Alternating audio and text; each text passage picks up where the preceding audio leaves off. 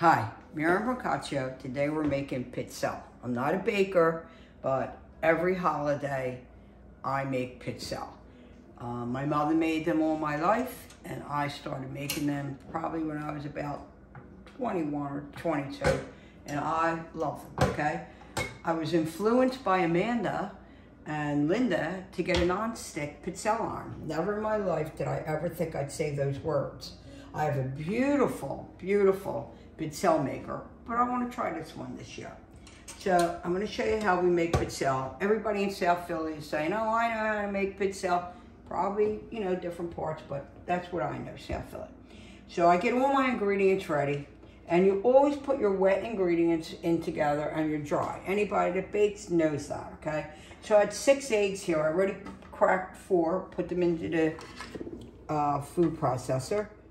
Okay, I meant to say mixer, not food processor. So I had six eggs here. And the big debate always, always, when you're making cookies or pizzelle or anything is, how many eggs are you going to make? Oh, I'm only going to make three today because I'm making a little. But most people are like, oh, I did 24 eggs today. I can't do that. I'm doing six. So I got four in the mixer. And I always crack my eggs in a separate dish because I want to make sure there's no blood in it or anything. Because then you have to waste all the eggs and throw them out. So crack them on a flat surface so you don't get any shell in there. And then put them in, okay? Put them in the dish so you make one, one mess. Okay, so we got that in here. And so we got, the eggs are in. That's six eggs for this recipe. One cup of oil. You want to use, this is vegetable. You can use vegetable or canola, whatever you have, but I like vegetable. So I'm going to put that in. Okay, so we got one cup of that. We have, in here, I have one and a half cups of sugar. So sugar is not wet, but I think probably, I'm not a baker, but I would think because it melts, that they put this in first. I don't know why. I'm just guessing. Okay, so we're gonna pick this up. And we're gonna blend this real nice. And this is where you wanna put your flavoring in also. I use anise Seeds. People use anise Oil or vanilla. You know, some people put like chocolate in there to make chocolate pizzelle. I don't like the chocolate ones. It's something weird about them to me. So my recipe calls for two tablespoons. So I'm going to put them in. You put them in with your wet ingredients because you want to get it all in and flavor. But I'll tell you the truth. I always packing all the half in. You know what I mean? So I, I like it honestly. Okay, so we're going to mix this up nice.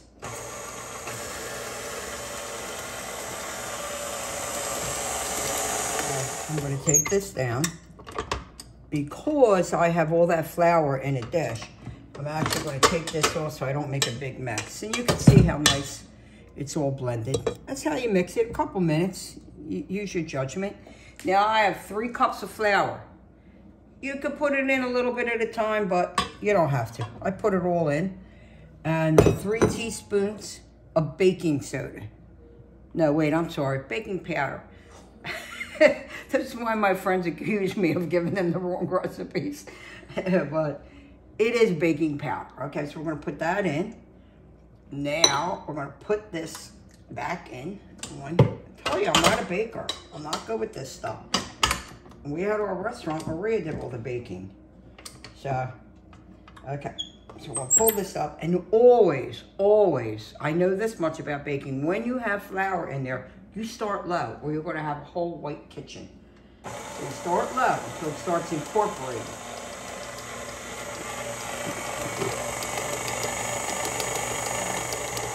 You could do this by hand if you wanted to, but it's a lot of arm work, so you got a mixer in the kitchen, use it. Okay, I'm going to put it a little bit higher now. Just to mix it. You can see how beautiful that is. And I'm actually going to turn it off. And I'm going to take it down because I want to make sure it's all mixed in. Yeah, okay, beautiful. I'm going to take this off. Well, you can see the dough is like sticky, very tacky. What I do at this point, I put it in the refrigerator. You could put it in an hour, a couple hours, overnight. Piece of plastic wrap on it. And then when this is ready, I'm gonna come back and show you how I press them. So I'm transferring the dough into a bowl because when you press them, it's easier to have something low instead of this high. Now, if I did 12 eggs or more, of course, I wouldn't transfer. But for just six eggs, I'm going to transfer. You see how sticky it is? And that's the way it's supposed to look. Don't think you did anything wrong. You didn't. This is it. But look at those beautiful seeds. Oh, my God. I'll tell you right now, I make good pizza. I really do. Yes, I will toot my horn about it. So we'll be back to press them later. I took the pizzelle dough out of the fridge. So you can see it's like nice and firm now. You know, it's still sticky, but it's firm. So I'm trying this new non-stick iron, like I said. I don't know, my jewelry's out. I only made two pizzelle. They look pretty, but they're thicker. The point of my making these is I like to make them thin, nice and thin. I squeeze it down, but you can't squeeze this down anymore. But um, I use this, and that got, gave me that size. This is a tablespoon. You can make them bigger if you want. But I'll just get a heaping one, throw it right in the middle.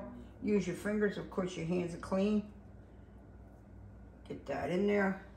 I dip it in a little vegetable oil, and before I started, I brushed the whole uh, pizzelle iron with vegetable oil. You want to make sure you're getting all the little nooks and crannies, so that's why it's good to use a vegetable thing. Okay, so I don't think that the, the Teflon, well, I guess it's not called Teflon anymore. Non-stick is as good as the other one, but I'm going to try it. Now I'm going to try to, usually with my old one, I would hold it very loose because I didn't want to press it all out the side. So with this, I'm going to do it. Now I'm going to try to press it as hard as I can. With my old maker, I counted to 25. Well, you can see all that smoke coming out. And when that starts to, to, to lighten up the smoke, that usually means it's not, nothing wet under there. So it's usually finished. But you could still take a peek. Don't worry about it. Just make sure you put it down the right way. So I haven't counted yet. I think I counted to about 25 with them. You can see the smoke is lightening up. So let's take a peek. Gotta be easy when you take that peek. See how it's coming out the sides? That's why I press it down light in the beginning. I'm gonna press it down a couple more seconds. Well, look, no smoke. Can you see that? No smoke? Okay, they're done. Okay. If You want them darker, you can make them darker. I put them here like this because I want them to cool. I don't want to stack anything before it cools. And they're starting to harden up nice. But I want to show you that. What you can do with these, after they harden, these are easy. They pop right off. If you want them to all look beautiful. To me, it's about the taste. So, my mother used to make tons and tons of these. And my mother was from Abruzzo, and that's where pizzelles originated. Originated. They came from some festival or something that they made it. South Philly, we say, from Abruzzi. and the Abruzzis brought them over, but I'm going to make these and it's not an easy job and it is time consuming, but I got to try this pan because I got to know if I'm sending it back. Because if it don't work, it's out of here. And I'm hooking up my other one. One more round. But what I do is I put them on here, I lay them out until they cool. As they're cooling, then I flip them and put them over here.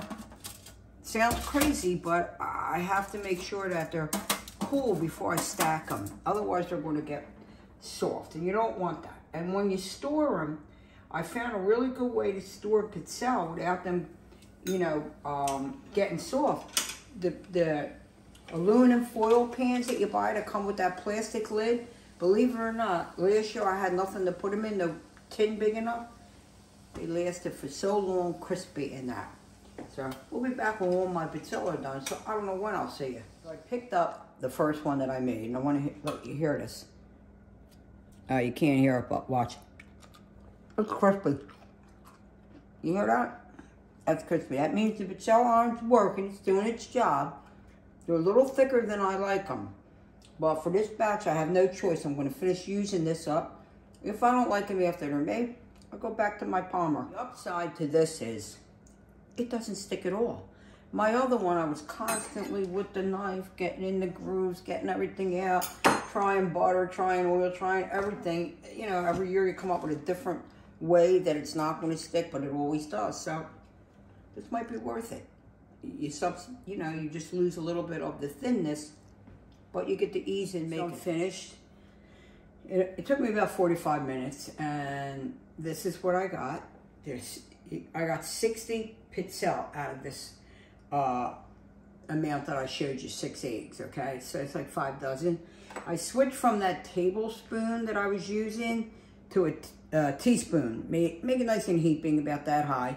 And you know, that'll make this size. Now, I have never figured out how to make them round and beautiful how everybody does. I've been making these for about, I don't know, 35 years or more. So if anybody out there wants to share that tip with me, because I know somebody knows how to get them round. Maria was wrong.